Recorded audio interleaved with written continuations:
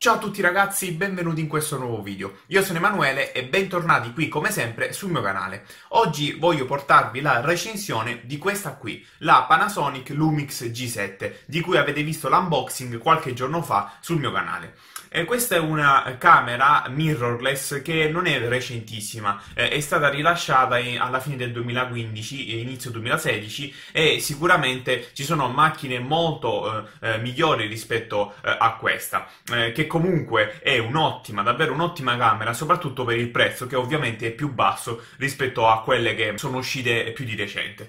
voglio parlarvi di questa camera in maniera un po' generale, non farò una recensione, anche perché non è il caso, ne sono uscite tante online, quindi diciamo che sì, io la chiamerò nel titolo recensione, ma in realtà sono più delle impressioni eh, personali legate al mio utilizzo e a quello che ho fatto con questa camera. Eh, vi dico tutto quanto dopo la sigla.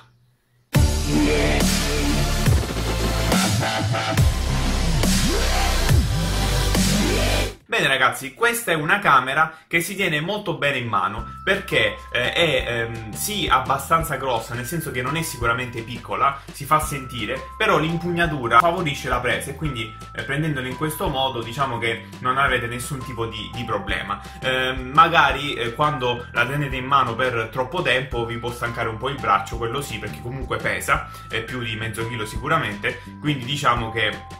eh, non, è, non, è, sicuramente leggera. Eh, tuttavia, eh, il corpo macchina, se andiamo noi a togliere eh, quello che è il, ehm, l'obiettivo con il proprio obiettivo, diciamo così, eh, è, è molto leggero, molto piccolo, insomma abbastanza compatto. Quando gli andiamo a mettere invece lo, l'obiettivo, eh, ovviamente diventa più pesante. Questo è un 14-42 mm ed è quello standard eh, che fornisce non in confezione Panasonic, ma lo dovete acquistare a parte. Il costo di questo obiettivo è di circa 150 euro su Amazon. Vi metto tutti i link sia di questo eh, prodotto che anche del resto eh, qui sotto in descrizione, quindi se siete interessati fateci un salto. Il corpo macchina costa intorno ai 550-600 euro, quindi quindi in totale verrebbe sui eh, 700 euro circa tutta la macchina. 700 euro che io non sono un esperto, lo sapete bene, però mi piace parlare di, questi, di questo tipo di prodotti eh, che secondo me eh, li vale tutti. Eh, perché? Perché è completa, ehm, diciamo che eh, per un uso normale, eh, non professionistico ovviamente,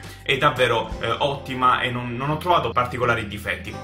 Infatti è molto buono il, il, mirino perché avete la possibilità di utilizzare sia il mirino che eh, lo schermo ovviamente integrato schermo che è touch e che si può inclinare di 180 gradi. Questa è una cosa ottima quando dovete farvi le riprese in, in, questa maniera e sicuramente per i blogger per chi fa video su youtube come me è un'ottima ottima cosa. Tra l'altro gli ultimi video che avete visto sul canale li ho registrati con questa camera utilizzando appunto questo schermo che si poteva ruotare e sicuramente mi sono divertito molto ad utilizzarla è proprio il divertimento, diciamo, la facilità di utilizzo eh, che eh, ti spinge appunto ad utilizzare questa camera. La messa a fuoco è ottima, eh, quindi mette bene a fuoco, il, la profondità di campo c'è, si nota e lo avete visto anche negli ultimi video e la qualità è nettamente migliore rispetto ai video precedenti che registravo con eh, il telefono come in questo caso oppure con altre camere però eh, di livello inferiore, eh, però certe volte perde un po' il fuoco. Diciamo che l'obiettivo non è eccezionale ma essendo quello base 14-42 mm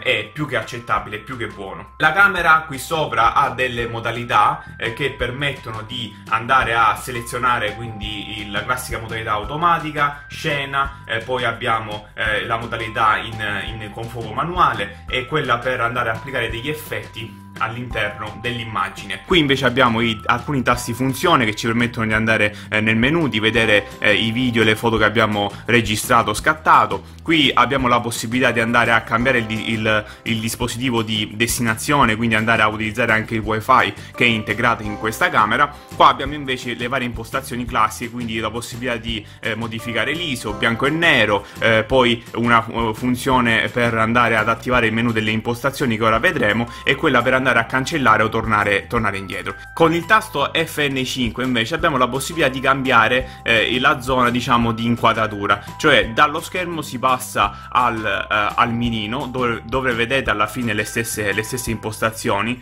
non so se si vede da qui dalla, dalla fotocamera, vedete qui dentro nel minino che c'è diciamo la stessa inquadratura che avremo ovviamente qui nello schermo, nello schermo touch. Schermo touch eh, che come vi ho detto prima eh, prende molto bene ed è molto molto utile per fare delle operazioni classiche. Questo è l'UHD eh, iniziale, abbiamo qui la modalità eh, che eh, può essere appunto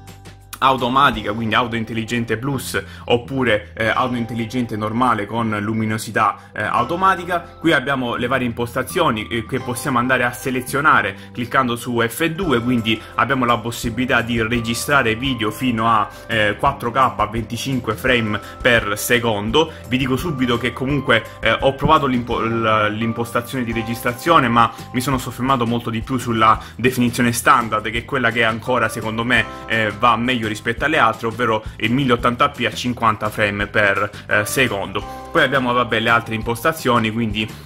possiamo registrare anche a 25 frame per secondo oppure l'HD a 25 frame per secondo. Questa è una cosa che non ho capito, cioè perché non è stato aggiunto anche il 50 frame per secondo, però vabbè, poco male. Eh, invece possiamo anche registrare sia nel formato MP4 che nel formato AVC eh, HD, come era eh, successo, come capitava anche con la scorsa videocamera, l'HCV 570, sempre di Panasonic, che vi ho eh, recensito qui sul canale, trovate ehm, diciamo il video qui sopra tra le schede. Andando avanti nel menu abbiamo la possibilità di impostare il quadro di scatto, quindi eh, a 3 mezzi oppure 4 terzi, 16 noni, insomma classiche impostazioni che già sapete. Se volete fare delle riprese un po' cinematografiche, un po' più eh, di qualità, eh, potete usare ov- ovviamente il, il, 16 noni. Qua invece abbiamo la possibilità di scattare anche delle foto in RAW, quindi un formato migliore, con una qualità eh, migliore, eh, e quella di ehm, impostare eh, il classico ehm, scatto automatico che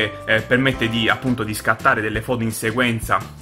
in questo caso eh, sarebbero ehm, eh, ogni 10 secondi tre immagini, ma poi possiamo cambiare e mettere eh, l'autoscatto in 10 secondi, quindi eh, per fare per esempio foto di gruppo oppure autoscatto in 2 secondi e così via. Con il tasto dispositivo eh, permette di togliere l'UHD e di attivare questa sorta di rivella che vi permette di mantenere la camera in posizione diciamo eh, comoda e lineare per avere una inquadratura stabile e centrale. Invece andiamo a vedere il menu, menu che è fatto bene, è molto semplice, eh, qui nella, in quello della fotocamera potete decidere la velocità dello scatto, eh, il tipo di foto in, in, 4K, quindi quanto scattarne, se in automatico, se di continuo e così via, l'autoscatto che abbiamo visto prima, il time lapse che possiamo intervallare secondo una durata diciamo a nostro piacimento e altre impostazioni classiche, c'è anche l'HDR, ehm, la possibilità di agevolarci nelle riprese notturne e così via.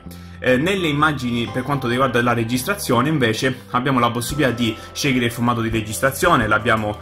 visto prima, la qualità della registrazione è stessa cosa, oppure decidere eh, se impostare o meno la, eh, la messa a fuoco continua, che possiamo impostare anche con questo switch che c'è qua sopra. Eh, qui invece abbiamo le classiche impostazioni personali eh, che riguardano sempre la messa a fuoco, la possibilità di mettere insieme messa a fuoco automatica e messa a fuoco manuale eh, per fare una sorta di mix che comunque non vi consiglio eh, e poi abbiamo i soliti settaggi dove impostiamo la lingua, il monitor, la luminosità del monitor, la possibilità di eh, eh, diminuirla per risparmiare batteria, ripristinare i menu, il colore dello sfondo del menu, insomma cose secondarie.